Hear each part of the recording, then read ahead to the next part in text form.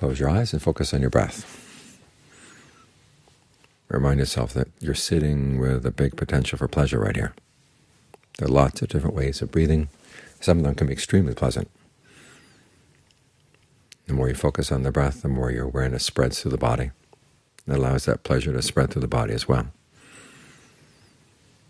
We do this not simply to have a nice place to stay. It's because when you're trying to deal with hardships, it's good to have a source of strength inside.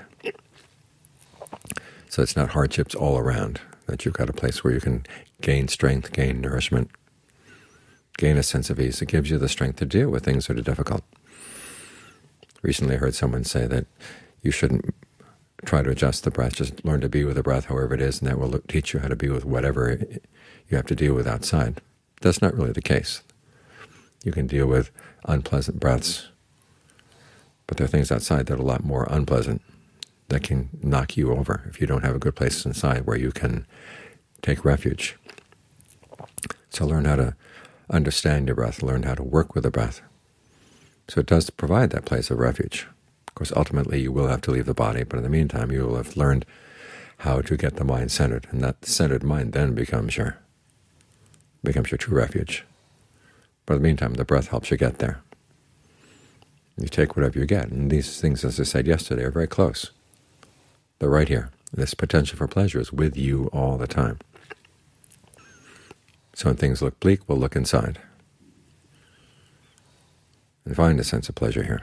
Learn how to work with the breath, make it longer, shorter, deeper, more shallow, heavier, lighter, whatever it needs in order to provide a sense of well-being inside.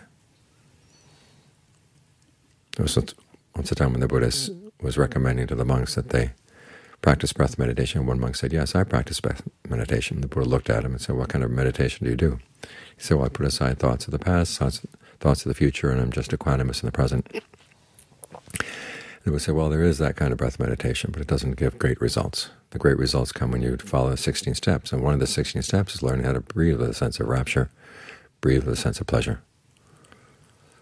So you can use that rapture and use that pleasure as part of your path.